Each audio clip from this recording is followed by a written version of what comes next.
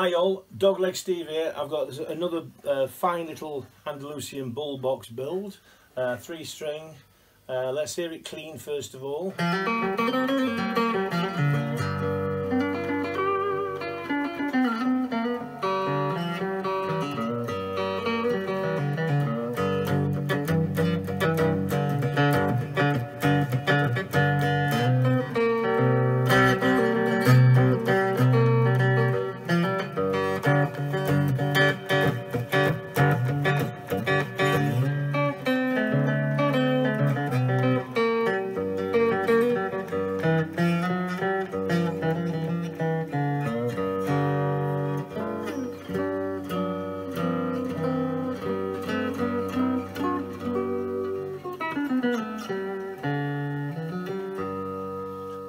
Nice.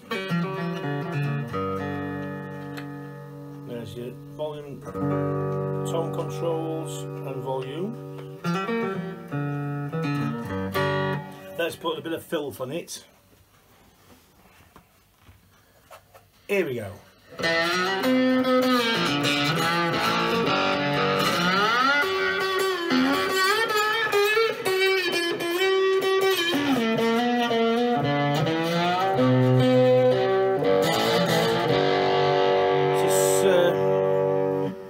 Slide.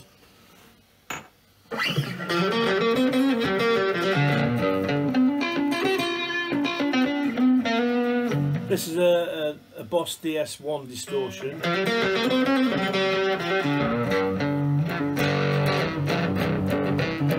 Which is, to be honest with you, horrible. Um, you have to put your own distortions on it. it you know, it's whatever you like as distortion units. Uh, I've only got that one tonight.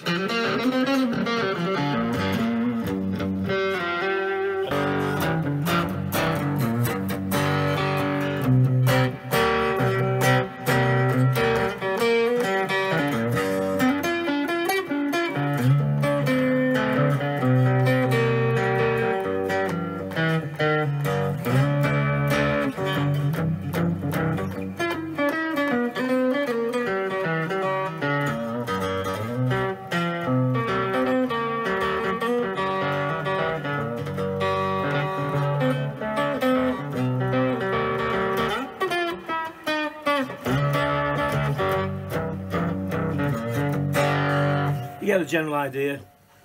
Okay, let me show you the specs now. So, I'll just take the strap off. We've got a beautiful uh, laminated neck with mahogany, maple and ebony. And I've done a lovely little um, volute, I think you call them, don't you? Volutes, and that's the theme goes up the headstock which is scarfed at the side.